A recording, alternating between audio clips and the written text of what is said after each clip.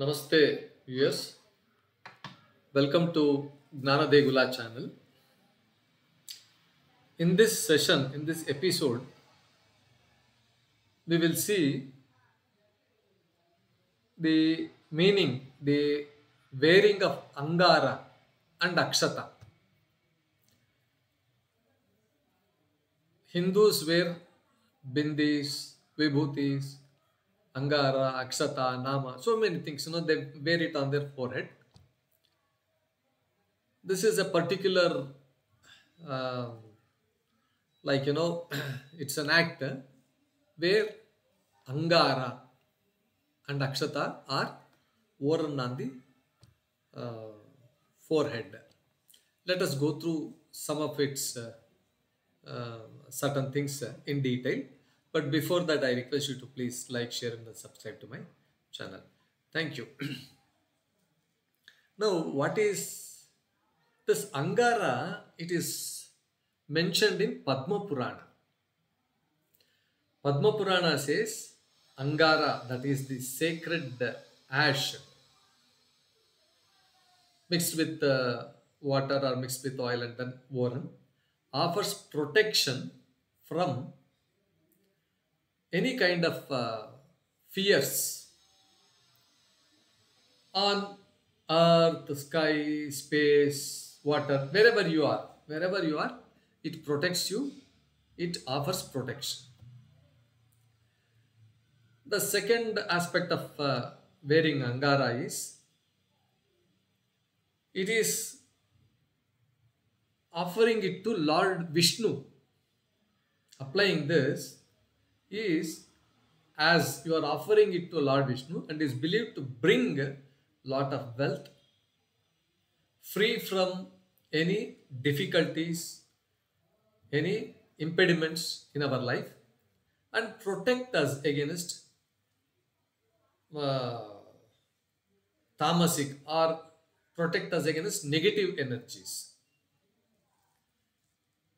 ಸಕಾರಾತ್ಮಕ ಕ್ರಿಯೆಯಲ್ಲಿ ಕ್ರಿಯೆಯನ್ನು ಇದು ಆ, ಪ್ರಚೋದಿಸುತ್ತೆ ಅಂತಕ್ಕಂಥದ್ದು that means it the it it negative energies like devils theft, uh, thieves, and people getting frightened of seeing certain things, you know, all these things, you know, it protects. This is the uh, use of Angara, wearing Angara.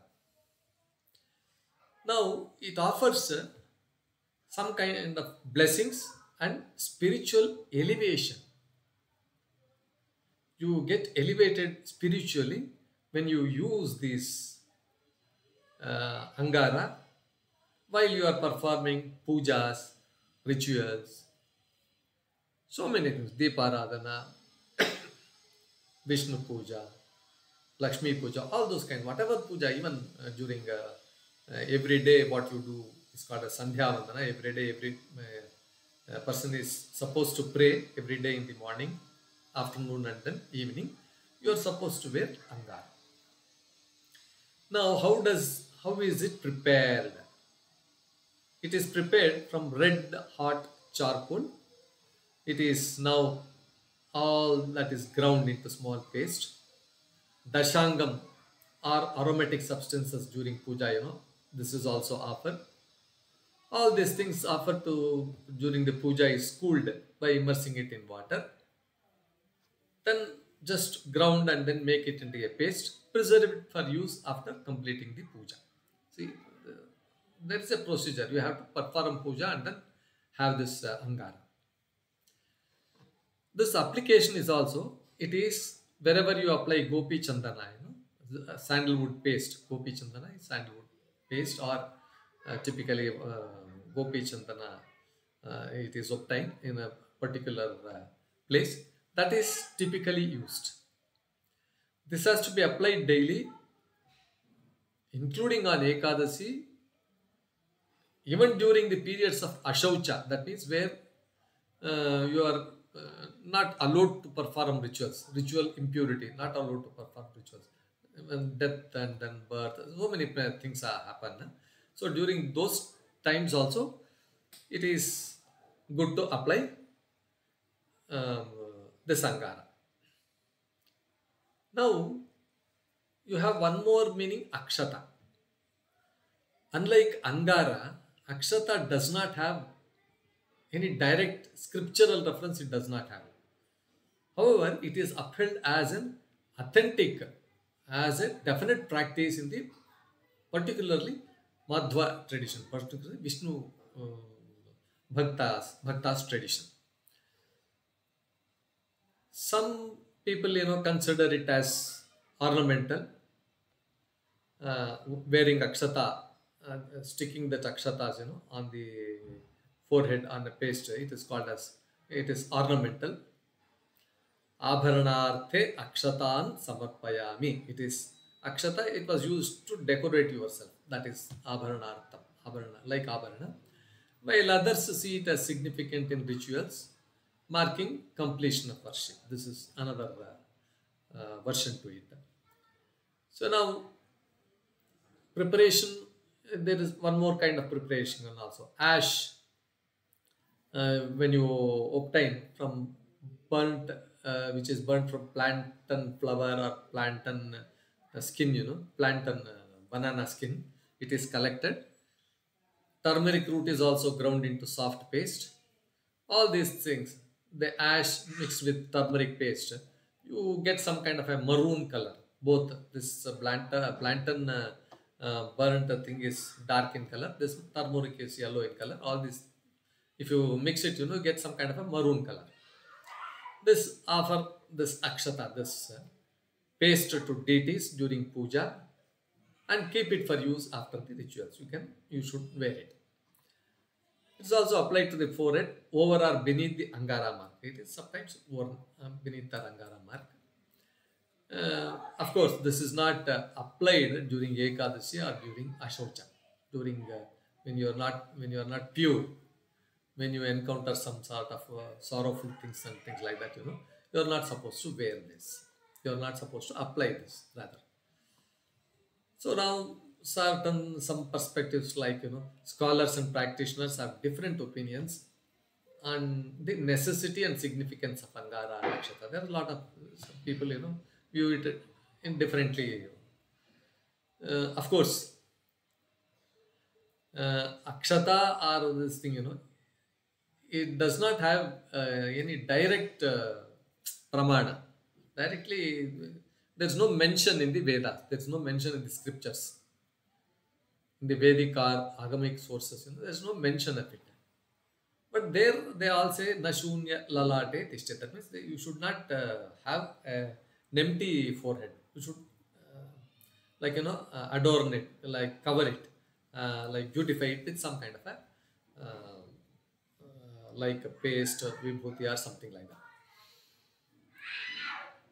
It is deeply entrenched in sampradaya. It's a tradition that is being followed, and one needs to maintain, preserve that particular tradition.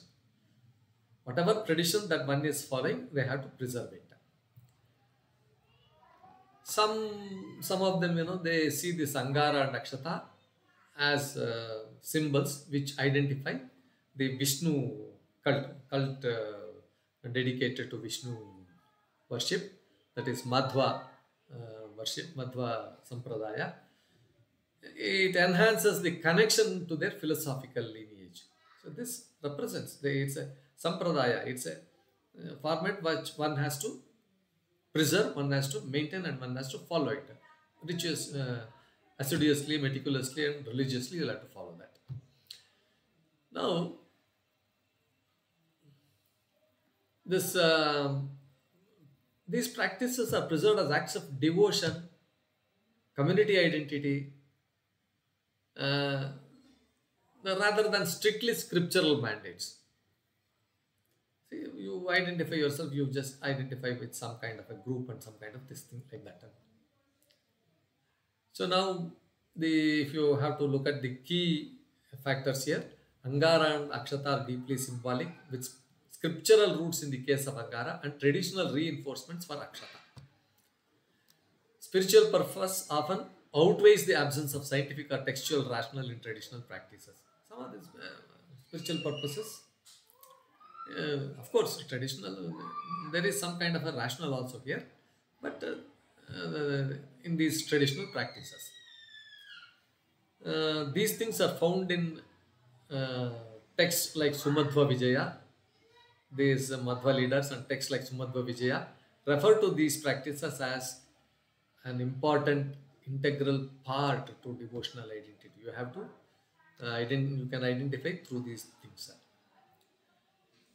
So, through reverence and proper execution, by paying respects to these practices, it reflects adherence to tradition and devotion Lord Vishnu, to Vaishnava Sampradaya, to Vaishnava school of thought. It's a school of thought, it's a very important school of thought.